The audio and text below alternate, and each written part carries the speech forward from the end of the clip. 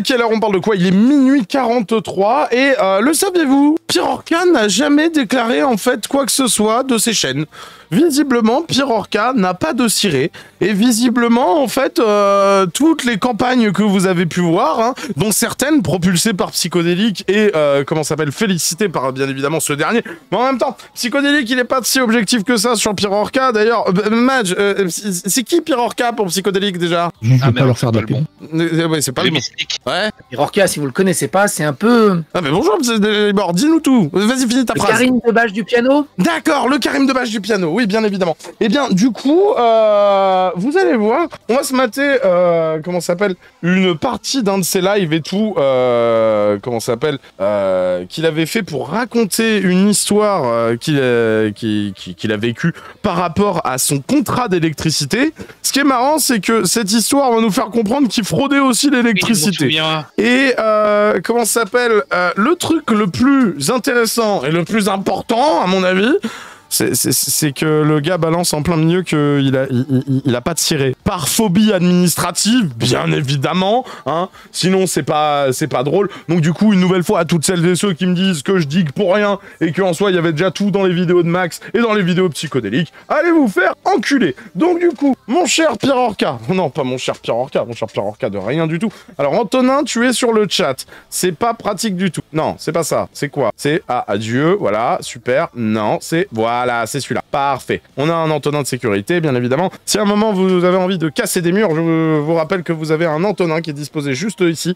Euh, N'hésitez pas à regarder Antonin si ça va pas bien à un moment. Normalement, ça devrait vous calmer. Mais donc, du coup, euh, vous allez voir, ça va aller très vite. hein.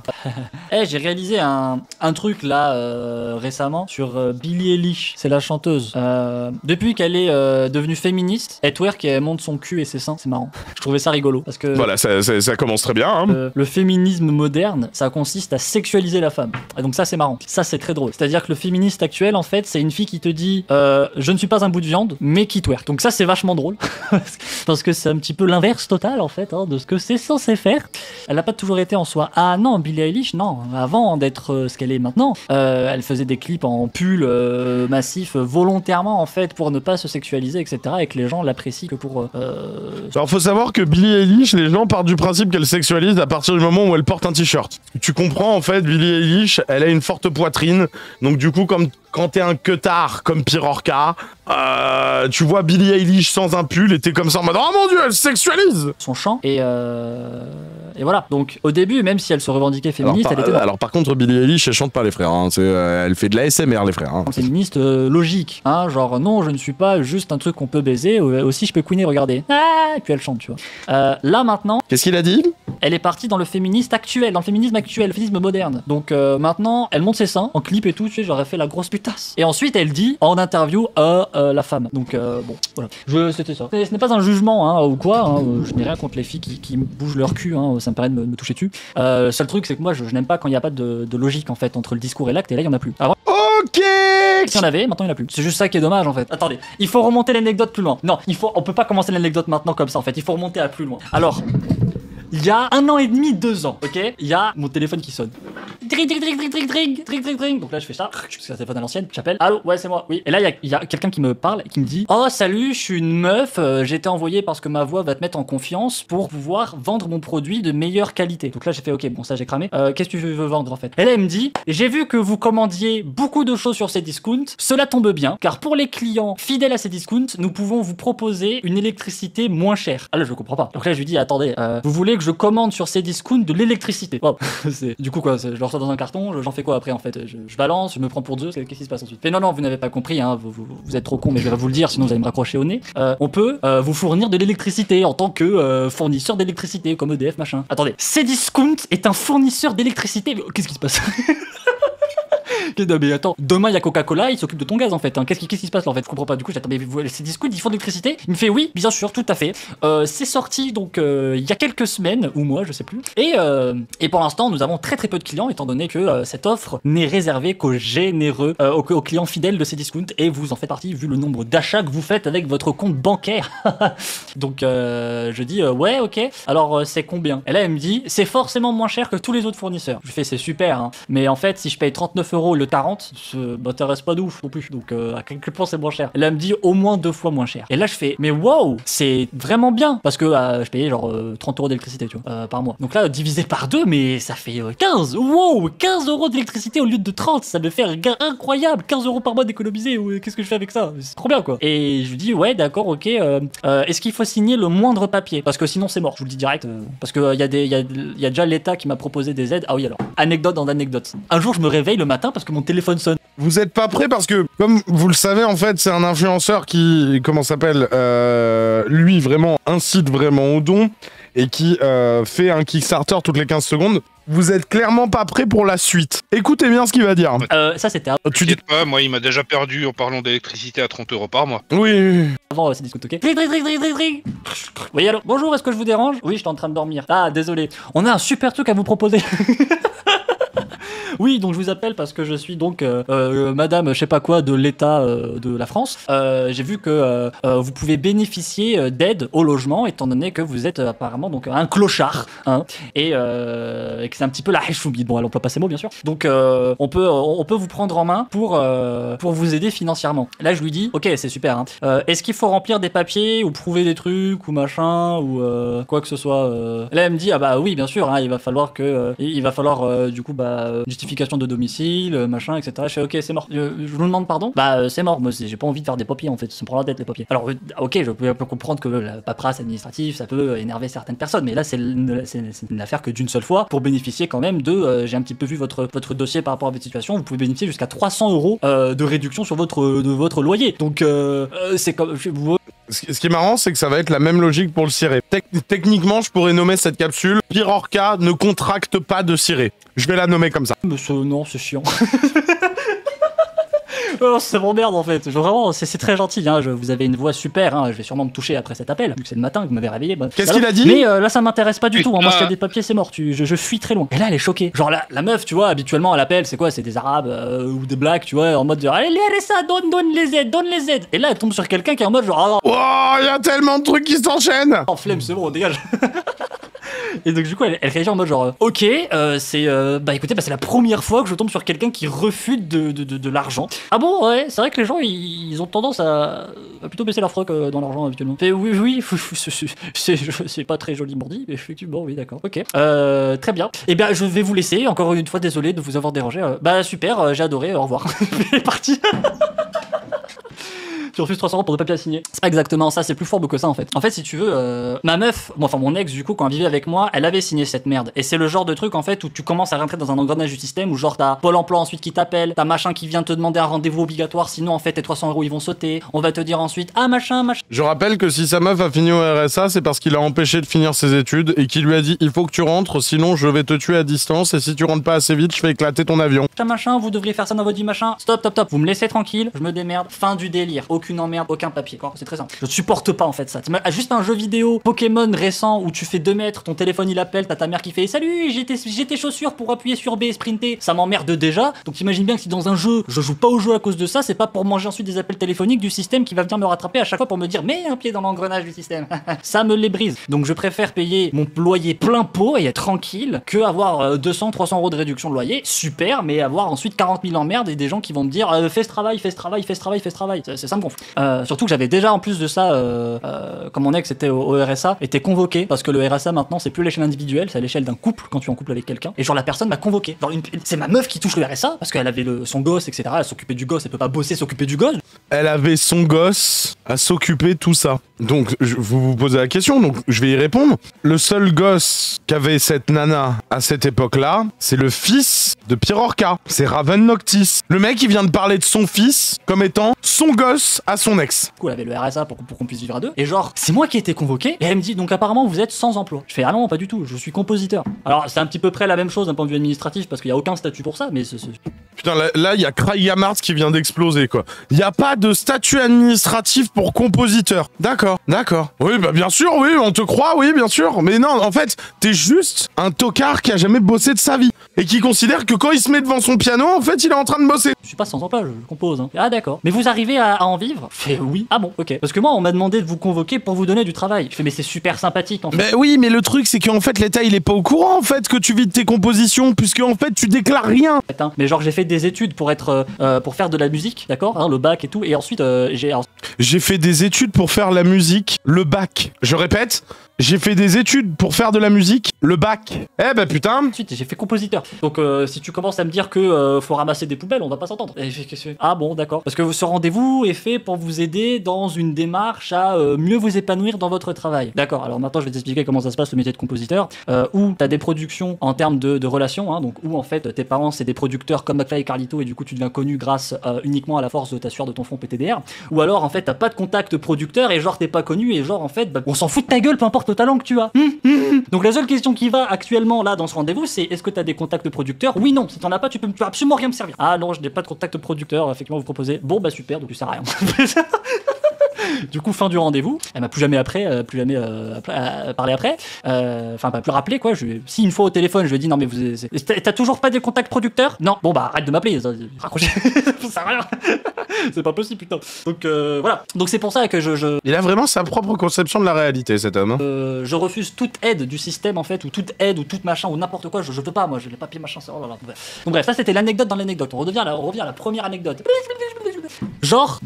Euh... Alors bien sûr, là je parle pour l'anecdote et j'étais beaucoup plus poli quand je lui parlais. Hein. C'était pas aussi aussi caché direct. Enfin, les, les mots étaient, euh, l'idée était quand même cachée direct, mais c'était pas aussi agressif bien sûr. Donc du coup, euh... ouais, donc à un moment, tu vois, j'étais en train de de, oui, donc il y avait cette meuf de Cdiscount. Putain, c'est ça, Cdiscount. Donc Cdiscount, ok, bon Cdiscount, euh, wow, apparemment Cdiscount, ils, ils vendent de l'électricité, mais genre pas euh, petite coupure de 5, 9,99€ la livraison, ou alors point relais pour 4,99€. Non, non, pas du tout. Euh, ils, ils peuvent te fournir en électricité. Et je me suis dit, wow, mais c'est c'est une offre euh, que vous me faites là. Euh, wow, j'en bave. Je commence à baver sur le téléphone et tout, tu vois, pour lui montrer. Elle est là comme ça, ah merde, c'est cool.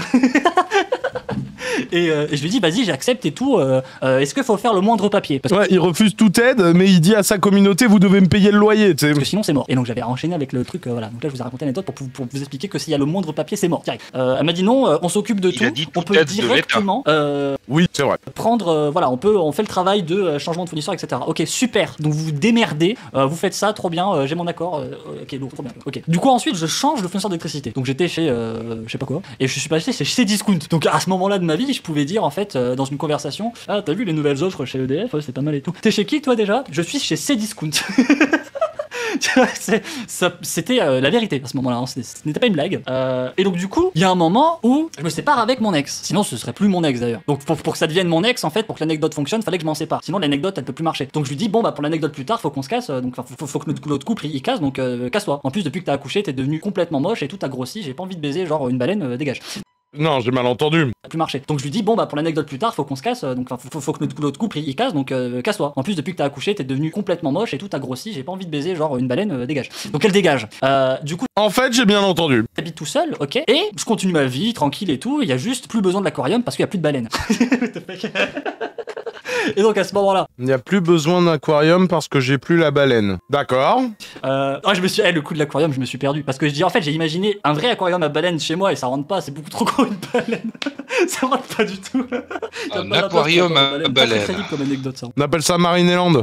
Euh, ouais, donc je continue ma vie tranquille, etc. Et puis un jour, ah voilà, donc là j'en étais là. Un jour, genre, je suis dans mon lit, tu vois, et j'entends euh, quelqu'un trifouiller dans le couloir, genre. euh, Je fais ah wow, euh, c'est chiant, tu vois. Donc je me réveille et tout, tu vois. J'ouvre la porte. Bonjour, euh, vous faites quoi? Et là il y a un technicien, un mec habillé en technicien. Tu vois, tu le reconnais parce que euh, bah, ça se reconnaît en fait. Pourquoi je devrais vous expliquer ça? T'as 4 ans ou quoi? Non, c'est évident. C'est un technicien, d'accord? C'est vraiment un technicien. Vraiment, c'est un technicien. Ok, bon, très bien. Euh, et du coup, genre, il était en train de trifier mon compteur. Donc euh, qu'est- qu'est- qu'est-ce qu'il est en train de faire en fait quelque comprends pas. Et je dis bonjour, bon, vous, vous- faites quoi en fait? Parce que ça c'est mon compteur électrique. Et là le mec il me regarde choqué. Ah mais il y a, y quelqu'un qui habite dans cet appart? Je fais euh, oui. Tu manges quoi, Chazel Je mange Pirorca. Je mange une quiche. Oui, oui, il y y a- bah, y a moi en fait, ça fait trois ans que j'habite là, qu'est-ce que tu C'est quoi ton problème euh, quel est- C'est quoi ton problème en fait euh, moi, Je lui ai pas dit ça évidemment, je dis oui, oui, j'avais- ça fait trois ans que j'habite dans cet appartement, donc oui, il y a quelqu'un effectivement. Je fais ah ok, parce que moi on m'a demandé de couper l'électricité parce qu'on m'a dit qu'il y avait plus personne. Quoi? Mais non, mais moi c'est. Alors non, vraiment pas, moi je- je- j'habite là, hein. donc euh, si vous coupez l'électricité, moi ça- c'est chiant, parce que déjà j'ai plus d'électricité, et ensuite. Euh, euh, Merci. Euh, euh, bah c'est chiant que euh, j'ai allumé la lumière, il y aura rien en fait. J'ai pas envie d'allumer la lumière et qu'il y a rien. Sinon tous les interrupteurs, je devoir les retirer, ça sert plus à rien chez moi. Il y aura des boutons sur les murs, ça sert plus à rien en fait. Je vais laisser un bouton inutile. Je, je lui explique le principe du bouton inutile. Tu vois. Elle me dit ah, effectivement ouais c'est chiant et tout. Et il me dit ok bon bah, euh, bah c'est- bizarre, euh, vous, vous, vous payez des factures Je fais oui oui oui je, je, je suis chez Cdiscount. Ou début de merde. Euh, donc là le mec me regarde encore choqué une deuxième fois. Vous êtes chez chez Cdiscount, c'est mon fournisseur d'électricité, Cdiscount effectivement le, le, le site de vente en ligne. Oui oui d'accord. À tout moment je m'attendais à ce qu'ils me disent euh, et euh, le gaz c'est YouTube, euh, comment ça se passe Je m'attendais vraiment à ce qu'ils me sortent un truc comme ça tu vois. Elle me fait ok d'accord ok. Euh, bah essayez de contacter votre fournisseur. Donc c'est Discount hein. Oui enfin oui voilà c'est Discount. Parce que moi apparemment je, je n'ai on m'a dit qu'il y avait pas de facture en fait qui se payait, il y avait rien du tout.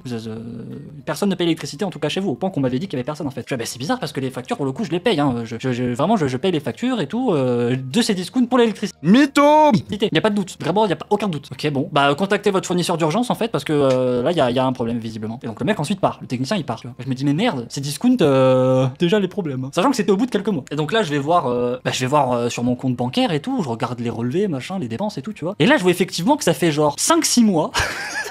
Qu'en fait, je payais plus l'électricité. Que Mais comment t'as fait pour pas t'en rendre compte Discount ne prélevait plus l'électricité. Je me suis dit merde, mais pourquoi ils ont arrêté de me prélever de l'argent? C'est complètement con parce que j'ai quand même l'électricité. Donc en fait, je paye rien, j'ai l'électricité gratuite. Je me dis mais qu'est-ce qui se passe? Euh, Ils sont complètement cons. Ou alors c'est tellement pas cher en fait qu'ils veulent plus que je paye. Je sais pas. Peut-être euh, peut-être en fait quand tu fais un achat trop cher euh, sur ces discounts en fait ils mettent le prix de l'électricité dans cet achat. Je sais pas. J'ai commencé à faire des théories cheloues, tu vois. Donc je me suis dit là récemment j'ai acheté un canapé euh, assez cher. Peut-être l'électricité je l'ai acheté avec, tu vois. Et, donc on savait pas. Et donc du coup genre je retourne. Ah non j'étais sur l'ordinateur. J'envoie un mail à, à, à ces discounts. Service support. Bonjour. euh, où est mon électricité Bonjour. Je regarde tu vois. Bonjour et coup ouais, bon, c'est tranquille et tout. Genre euh, euh, vous êtes mon fournisseur d'électricité et en fait actuellement là je paye plus rien chez vous. Donc moi ça m'emmerde parce que j'aimerais dépenser mon argent. J'en ai beaucoup trop. Aidez-moi quoi. Et au bout d'une semaine, le service support de CAC Discount me répond. ça c'est me répond. Bonjour, votre contrat est résilié depuis 6 mois. Quoi? Mais c'est impossible. Donc attends, donc dans la logique des choses, je suis passé chez Cdiscount et genre quasiment deux semaines après, ils ont résilié le contrat. Je me suis dit mais JPP en fait, euh, qu'est- c'est quoi ces merdes? Qu'est-ce qui se passe en fait? What the fuck? Donc je, comprends pas. Donc je leur explique bonjour, non mais euh, d'accord, mais pourquoi vous avez résilié en fait? J'étais chez vous et là vous résiliez comme ça sans prévenir, euh, qu'est-ce qui se passe? Et là ils disent ah euh, euh, quelqu'un a transféré votre dossier. Là je me suis dit quoi? Mais c'est impossible, c'est toujours moi qui ai payé l'électricité et j'ai pas bougé de cet appartement. Là je me suis dit peut-être, peut-être en fait c'est mon ex qui a transféré ses discounts dans l'autre appart. Je me suis dit oh là là, oh là là, oh là là, qu'est-ce qui se passe Oh là là, c'est bizarre. Bon, du coup euh, je, je leur réponds, ok bon bah super, euh, Absartec on se fait, euh, on se fait un FIFA ce soir. Et là je me suis dit hmm, donc je suis dans une situation à l'heure actuelle où euh, je ne paye pas mon électricité, mais j'en ai quand même. Donc déjà ce pays est incroyable.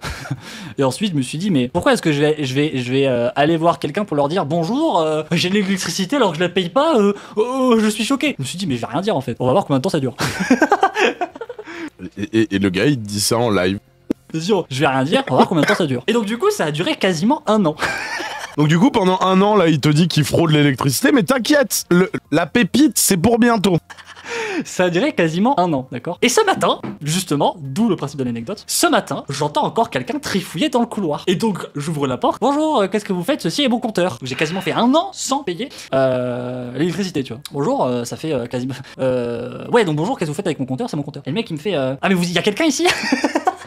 La boucle, tu vois. Il y a quelqu'un ici? Je fais oui, oui, là depuis un moment. Et il regarde son iPad, tu vois. Vous payez, euh, vous êtes chez aucun fournisseur. Et là, à ce moment-là, j'étais au courant. Vous savez très bien que je ne mens pas, tout le temps honnête, même quand ça me fout dans la merde. Donc, ne change pas ça. Donc là, je lui dis oui.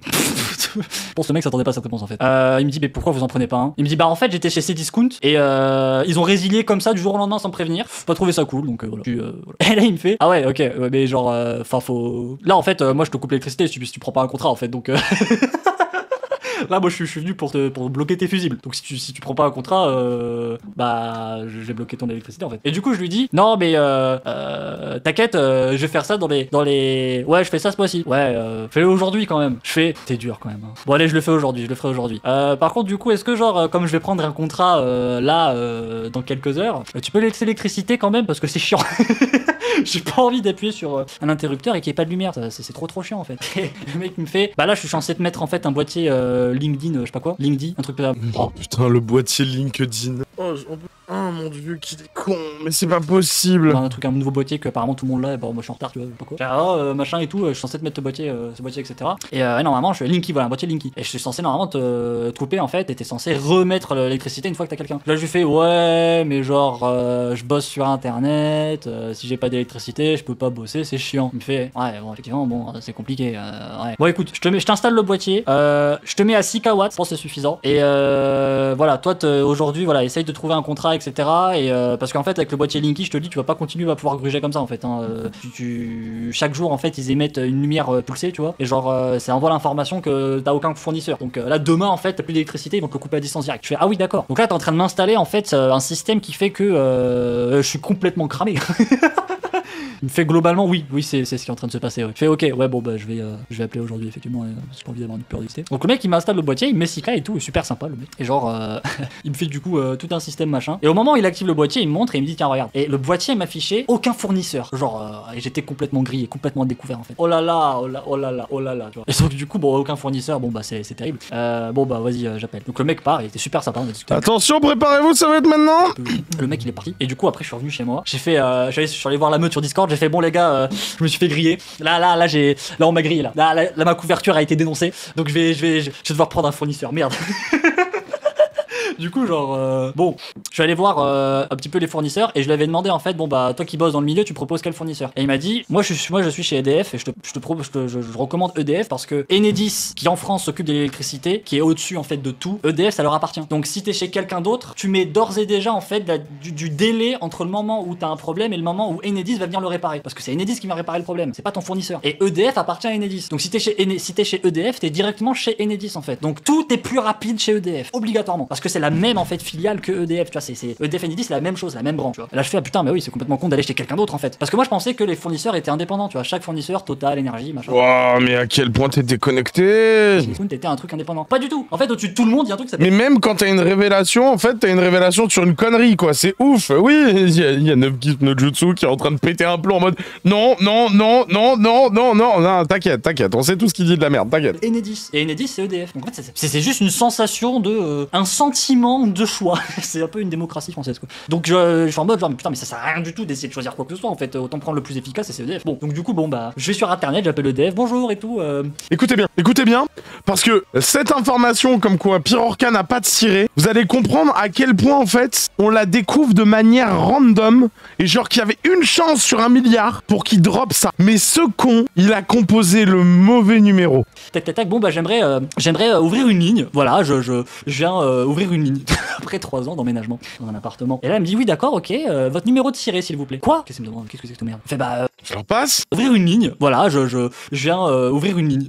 Après trois ans d'emménagement dans un appartement. Et là elle me dit oui d'accord, ok, euh, votre numéro de ciré s'il vous plaît. Quoi? Qu'est-ce qu'elle me demande? Qu'est-ce que c'est que cette merde? Fait bah votre numéro de, de ciré, de, de votre numéro d'entreprise. Mais j'ai pas d'entreprise. Je, je sais Il vient de le dire, il vient de le dire, il vient de le dire. J'ai pas de ciré, j'ai pas d'entreprise. d'emménagement dans un appartement. Et là, elle me dit oui, d'accord, ok, euh, votre numéro de ciré, s'il vous plaît. Quoi? Qu'est-ce qu'elle me demande? Qu'est-ce que c'est que cette merde? Fait bah euh, votre numéro de, de ciré, euh, de, de votre numéro d'entreprise. Mais j'ai pas d'entreprise. C'est pour du particulier là, mademoiselle. Elle me fait ah mais là vous êtes sur le service client des entreprises. Je fais Voilà, voilà. Et on a eu cette information parce que ce con, il a appelé le service client des entreprises.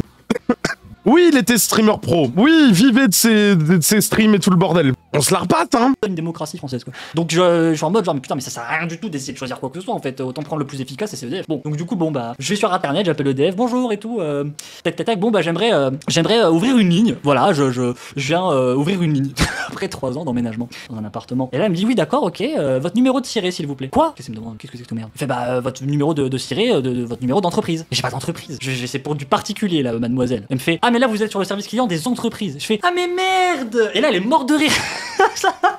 sur le ah mais merde, je crois en fait les gens ils s'expriment pas naturellement quand ils sont au téléphone. Non, non, quand t'es micro-entrepreneur aussi, t'as un numéro de ciré. À partir du moment où t'as une activité euh, auto-entrepreneuriale en France et que, tu l'as déclaré, tu as un ciré. Streamer, normalement, t'es auto-entrepreneur. T'as un ciré. C'est D'ailleurs, comme ça que mes harceleurs ont trouvé mon adresse dans le sud, c'est qu'ils cherchaient mon ciré. Ils ont compris que c'était chez ma mère, donc maintenant ils essayent de buter ma mère. Mais ça, c'est un autre débat. Parce que je crois que c'est la première fois de, sa vie qu'elle entend une réaction naturelle en fait. Parce que j'ai fait Ah mais merde Comme ça au téléphone, elle a fait Et du coup, j'ai fait Ah ok, bah je vous dérange pas plus et tout. Euh, c'est quoi le numéro? 3004. Ok, d'accord, ok, cool. Du coup, j'appelle le 30 ou le 3014, je sais plus. Donc ensuite, j'appelle le, le 3014, 30 quoi, tu vois, je sais pas quoi. Je fais euh, Ouais, salut et tout, euh, c'est pour ouvrir une ligne. Et là, du coup, en fait, il y a une voix robotique qui me parle. Bonjour, c'est votre département, putain. Donc là, je me suis pris avant de la part d'une ro- d'une robot en fait, le truc complètement mal. Donc je mets mon département, machin tout. Et ensuite, j'arrive à obtenir le, euh, euh, le moment où ils te disent Pour ouvrir une ligne, tapez 1. Pour bénéficier de nouvelles offres, tapez 2. Pour un problème technique, tapez 3. Bon, bah, je vais ouvrir une ligne. Donc je tape 1. Et là, ensuite, elle me demande le numéro. Ah yes, y'a Captain Ursam qui a vu ça. Vas-y, le sang. Euh, attends, c'est quoi?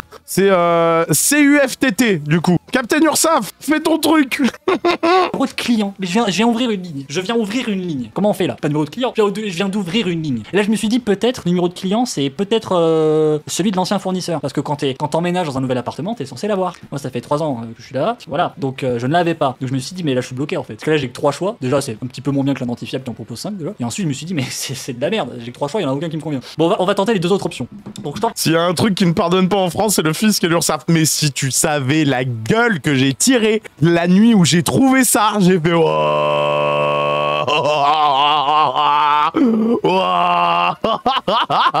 Les autres options, tu vois. Donc, euh, tapez 1, nouvelle ligne, tapez 2 pour euh, nouvelle offre. Donc, je tape 2. Bonjour, si cette offre vous intéresse, donc là, elle me récite les offres. Ok, bon, c'est pas ça. Ensuite, je tape 3, problème technique, ok? Bon, problème technique, là, vous allez être mis en, relation avec un conseiller. Musique d'attente. Ouais, mais c'est pas un conseiller technique qu'il me faut. Bon, allez, je retente le premier. Donc là, je raccroche. Je rappelle. 34. Je rappelle, tu vois. Je mets le 1 ensuite. Donc, je mets le département. Ensuite, je mets le 1. Bonjour, machin, etc. Euh, pour ouvrir une ligne, mettez votre numéro de client. Donc, je suis encore bloqué. Et là, je fais, mais c'est dur. C'est très, très dur. C'est très, très, très dur d'ouvrir une ligne. Je pensais pas. Et là, je me rends compte que potentiellement, en fait, euh, tous les humains, ou en tout cas tous les Français, sont vraiment supérieurs à moi. hein. Parce que vous avez tous un fournisseur d'électricité. Moi, je n'en avais pas un et je ne savais pas comment faire pour en avoir un. Euh, J'étais bloqué face à ce choix. Et je me suis dit, mais comment a fait le Français de base qui met le masque pour passer cette étape Là, je me suis dit, mais que ferait Bolos de combat en fait? Et là, une lueur est apparue, tu vois. Je me suis dit, que ferait Bolos de combat? Et du coup, j'ai réfléchi.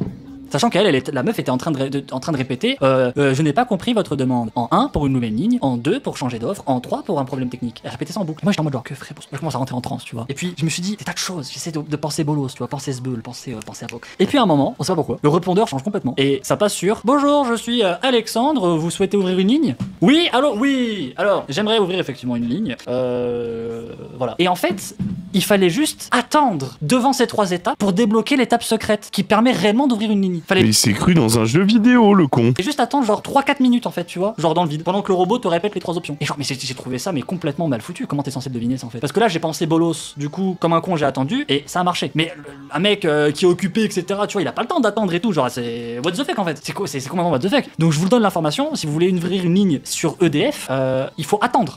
faut, faut juste attendre en fait. S'il y a aucun choix qui correspond, t'attends et t'as immédiatement quelqu'un qui ensuite, euh, au bout de quelques minutes, il, il te- il prend ton appel, tu vois. C'est très très étrange. Et donc là, je parle avec Alexandre. Et donc avec Alexandre et tout, Big Fun, il m'invite au projet X. Euh, on fait du coup la ligne machin, etc. Il me dit, euh, est-ce que vous avez le nom de l'ancien locataire? Alors euh, oui, c'est moi. Quoi?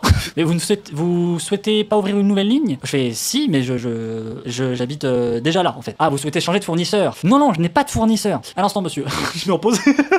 Euh, allô, je suis avec un criminel euh, en ligne là. Que je quoi J'appelle euh, les flics. Qu'est-ce qu'on fait? Très bien. Je. oui. euh, donc vous n'avez pas de fournisseur. Oui oui c'est ça. Voilà. Ça fait des mois en fait que j'ai l'électricité, mais que j'ai pas de j'ai pas de fournisseur. Donc je me suis senti super coupable. Je me suis dit ah quand même, euh, faut un moins un fournisseur. Sinon en plus on a on a posé un boîtier Link Linky machin, je sais pas quoi. On m'a donné un numéro CPL truc là. Là je suis complètement grillé. Si vous me donnez pas une offre d'électricité, ou je me taille les veines ou je vais en tôle. Là je vous dis direct. Oh tiens, chantage au suicide Bah au final, t'auras fini, euh, fini en tôle, hein.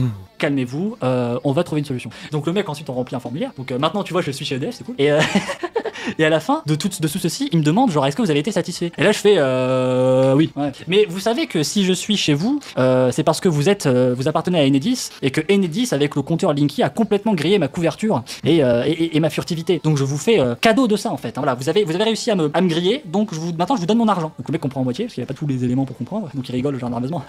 c'est super. Mais au niveau du test de satisfaction, euh, est-ce que vous avez été satisfait en fait? Et là, du coup, je lui dis, bah oui, oui, oui, oui, euh, vous parlez français, il y a pas d'accent arabe chiant qui fait qu'on comprend rien, donc c'est cool. Et donc, C'est incroyable, hein, même quand tu lui poses une question, euh, c'était comment ta journée, le gars il est capable des pires takes quoi. Bref. le mec se marre. Donc encore une fois, j'ai réalisé en fait que personne n'osait le dire, ça, ce truc. Parce que visiblement, c'est la première fois qu'il entendait cette phrase. Non, parce que euh, c'est rare, c'est très très rare un service support où c'est pas genre Bonjour, je m'appelle Jean-François, je suis votre conseiller pour vous aider dans la démarche administrative. Ah, Et t'es au courant que dans ces milieux, si tu veux, les personnes qui ont des accents, on les force à genre modifier leur accent et tout le bordel?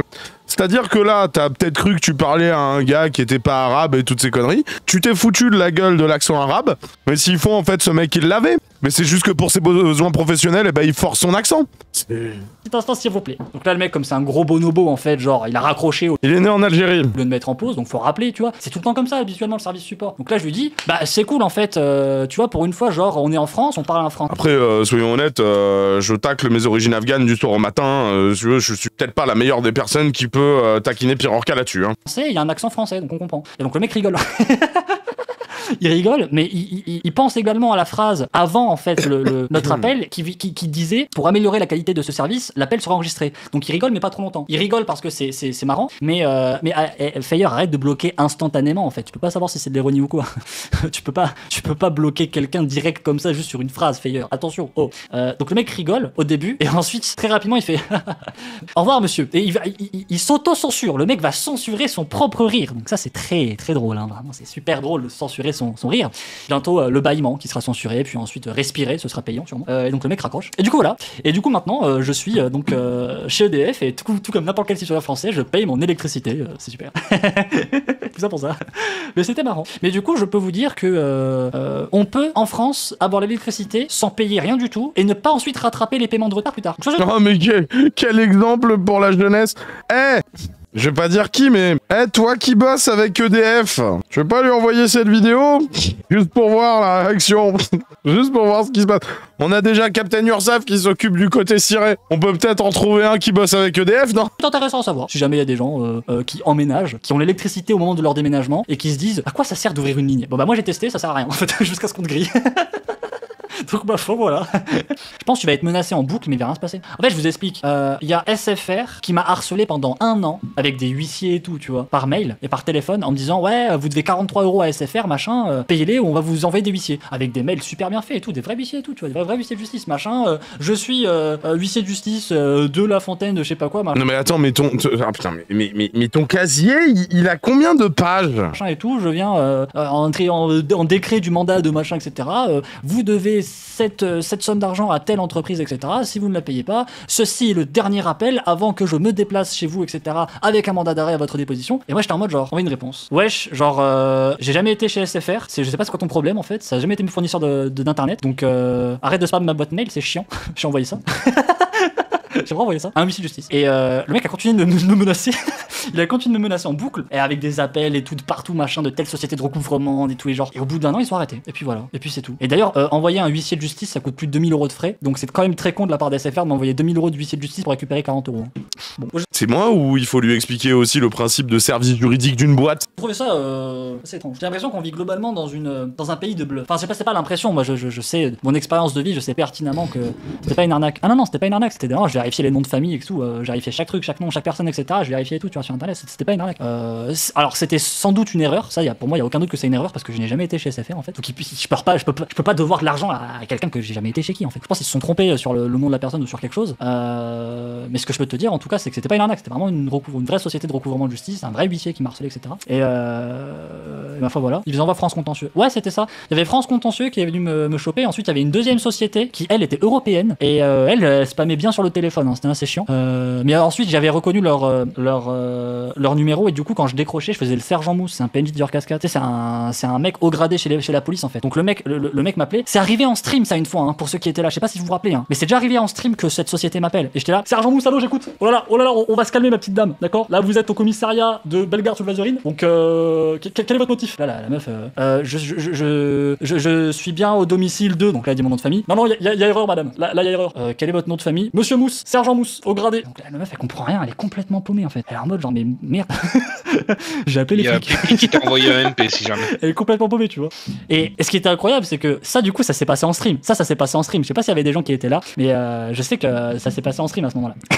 et la meuf, elle comprenait rien du tout. Elle me disait, oh, comment, comment vous appelez Sergent Mousse? Euh, Mousse, non, c'est Monsieur Mousse. Monsieur Mousse. M-U, tréma, 2S. Le U tréma, c'est quand il y a deux points sur le U. Euh, oui, Merci, oui, je Madge. sais ce que c'est euh, un U tréma. Non, mais je vous dis ça parce qu'il y a beaucoup de, de, de Turcs qui, du coup, au niveau de la prononciation, c'est pas la même chose. Voilà. La meuf, elle était vraiment paumée, tu vois. Et puis surtout, avec cette, avec cette intonation-là, t'as pas envie de faire le malin, en fait. Le Sergent Mousse, t'as pas envie de faire le malin avec lui. Parce que tu, dès que tu commences à hausser la voix, eh, oh, je, vais, je, vais, je, vais, je vais te calmer immédiatement, toi. Attention. Là, vous, vous appelez un haut gradé d'administration euh, du département de l'Ain. Ça, va pas s'arrêter ici, madame. Attention à votre vocabulaire. Attention à votre vocabulaire, madame. Donc, le mec, il...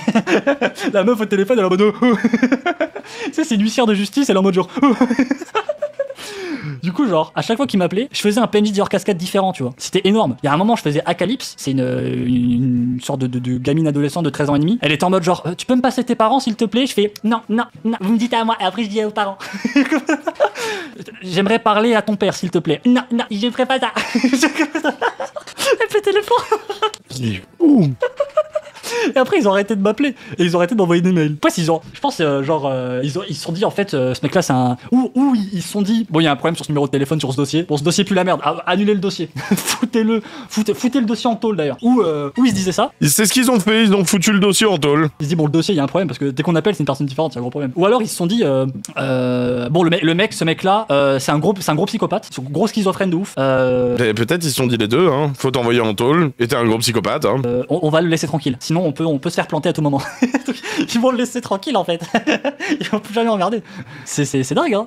Il y a une fois où, euh, Tu te grattes vraiment l'oreille comme un teckel, mon petit teckel Sigma. où je me suis trompé sur le numéro et du coup j'ai répondu avec le. J'ai vu qu'il y en avait un tout à l'heure qui avait compris que teckel Sigma c'était l'inverse de mal, euh, enfin de loup alpha. Euh, bien joué, tu as trois semaines de latence. Sergent Mousse. J'étais pas d'humeur à faire un truc marrant là. Je, je voulais calmer la, la situation rapidement. Sergent Mousse c'est rapide, très rapide pour calmer les gens. Et genre, ça appelle. Sergent Mousse, j'écoute, allô. Et du coup, oui, donc euh, par rapport au loyer de retard. Excusez-moi madame, attention à ce que vous dites là. Euh, je suis bien au domicile de machin. Et à, ce moment-là, je me rends compte en fait que c'est moi parce que euh, il il y avait un mois en fait où j'avais pas de thunes sur mon compte bancaire parce que c'était la mort en fait niveau donation etc. J'avais plus du tout d'argent. Du coup, j'avais pas pu. euh, le, prélèvement en fait, il a été refusé par ma banque parce qu'il y avait pas, d'argent sur mon compte bancaire. Parce que j'avais pas d'argent, j'avais pas gagné d'argent ce mois-ci, ça arrive. Et genre, du coup, j'avais un loyer de retard. et en fait, c'est le propriétaire en fait de l'appart qui m'avait appelé. Et euh... enfin, la propriétaire de l'appart qui m'avait appelé. Et là, j'étais en mode genre ah parce que là, j'avais commencé l'appel en sergent mousse en fait. Euh, et du coup, j'aurais dit je suis bien au domicile de euh, Raphaël machin. Je fais ah non pas du tout. Non non, non, justement là, il, il- il est sous la douche. Je peux je peux te transmettre un, un message euh, peut-être par exemple. Euh, oui bah je, je, je rappellerai dans, dans 20-30 minutes alors. Mais voilà ça c'est ça c'est une bonne idée madame. Très bonne idée madame. Et du coup elle raccroche. Et puis 30 minutes après, moi je rappelle, je fais oui euh, vous m'avez appelé. Et après, il est en mode Oui, donc je vous ai appelé il y a 30 minutes, j'étais tombé sur votre ami. Ah oui, oui, oui, je comprends. Mais merde Ouf Failli me griller Oh là là Compliqué la vie, hein Ouf. Petit mensonge du coup. Pour moi, c'est pas du mensonge ça. C'est pas du mensonge. C'est comme quand tu joues à Among Us en fait et que tu dis que euh, c'est pas toi l'imposteur. Bah, c'est un mensonge du coup. sinon, tu mens, tu mens littéralement toutes les 30 secondes en fait si on, si on commence là en fait. Quand c'est du troll ou quand c'est du, euh, du Bah, roleplay. Peut-être que toi tu mens toutes les 30 secondes, mais en tout cas c'est du mensonge. ou, ce- ou, ou de la ou volontairement du foutage de gueule c'est pas du mensonge c'est pas du mensonge pour moi le, le mensonge c'est vraiment le fait de, de pas assumer de L'inverse, ce serait pas teckel oméga. Le oméga, c'est moi. C'est vous me laissez ma lettre. Niquez-vous. vouloir dire quelque chose et de dire l'inverse tu vois. C'est genre euh, une meuf te dit comment tu me trouves? Tu, tu vas pas assumer l'idée de lui dire qu'elle est moche donc tu dis t'es magnifique. Ça c'est du mensonge. Ça c'est vraiment une question de euh, pour te couvrir ou pour machin tu vois. Euh, moi je fais pas ça. Moi c'est vraiment du foutage de gueule quoi. C'est pas du mensonge. C'est juste me fous éperdument de la gueule de la personne. Pas du mensonge. Parce que dès lors en fait qu'elle va me dire non mais je t'ai grillé en fait monsieur Mousse arrête sinon je t'envoie vraiment le, le, le flic de Bellegarde. Ouais bon allez ça va c'est marrant c'est marrant c'est ça va ça va c'est marrant. Je vais direct euh, direct avouer en soi tu vois. Ah là là. Je vis une vie risquée les gars très très très risquée ma vie hein. extrêmement risquée ma vie y a plus d'eau y a plus de rhum et une autre bouteille yes ah là là c'était marrant tout ça, hein. c'était bien marrant. C'est très marrant de vivre euh, à, côté de ma vie, de, partager ma vie. C'est très drôle. Une vie avec les yeux d'un enfant, ça doit être plus léger. Bah ça fait que je suis tout le temps heureux moi en fait. moi je vraiment euh, aucune différence entre un jeu vidéo et la vie euh, IRL pour moi. hein. Complètement la même chose. Si dans la vie réelle les gens sont beaucoup plus agressifs que l'IA dans les jeux vidéo. Il me vide l'âme. Incroyable. Il m'a, il, achevé pour la soirée. Vous pouvez d'ores déjà dire au revoir à YouTube. YouTube, tu peux liker, commenter, t'abonner, partager, gommer l'algorithme de gens sur ou sur Trovo, sur YouTube ou sur Twix ou sur Spotify. Si vous êtes auto-entrepreneur ou que vous avez une activité, déclarez-la et payez votre URSAF. Point. si vous avez un appartement, payez votre électricité et ouvrez un contrat avec un fournisseur d'accès.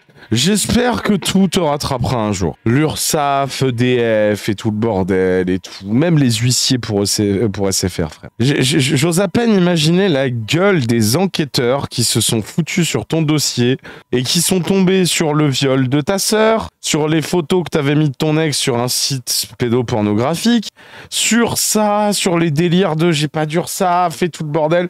C'est, c'est, c'est incroyable. C'est, enfin, je, c'est une dinguerie qui s'arrête jamais, le dig sur ta gueule. Mon cher Madge. Ouais, je l'avais déjà vu, celui sur l'électricité, enfin ce, ce bout-là. Mais j'avais oublié qu'il y avait autant de conneries. J'avais oublié qu'il allait aussi loin, en fait, dans, dans, le- dans la déconnexion de réalité. Je me souvenais de l'épisode euh, sur, euh, sur le compteur Linky, mais en gros, le reste, euh, le reste j'avais zappé. Mais l'URSSAF s'est passé, mais genre inaperçu. J'ai jamais entendu quelqu'un sur internet dire Pirorca n'a pas de n'a pas de ciré. Et pourtant, si tu veux, genre cette anecdote-là de l'électricité, elle est relativement connue dans la, la, la si je peux dire ça comme ça. Mais mais mais mais, mais j'ai jamais entendu quelqu'un qui avait relevé ça. Donc du coup, vous m'en voulez pas, euh, je l'ai fait, hein, du coup. Hein. Bref, comment on fait pour couper cette merde? Le bouton rouge. Et merci bien.